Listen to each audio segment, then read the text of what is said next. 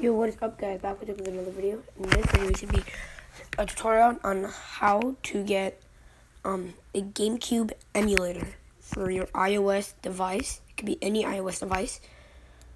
All you need to do is download this app called Tweakbox. So go to Tweakbox.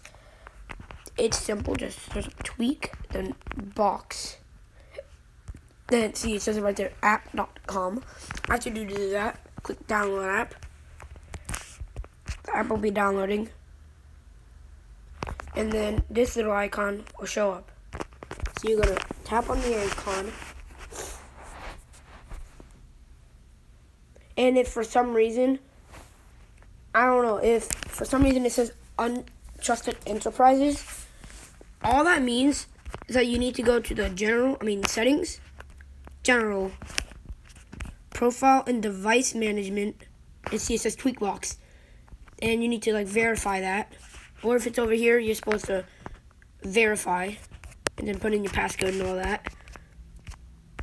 And then you enter the app. Then a little pop-up will show up eventually.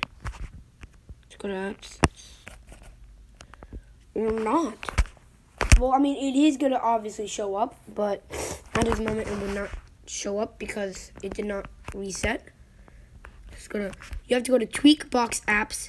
So as soon as you enter in home, go to apps, go to Tweakbox apps, scroll down until you see GC for iOS. Tap on that.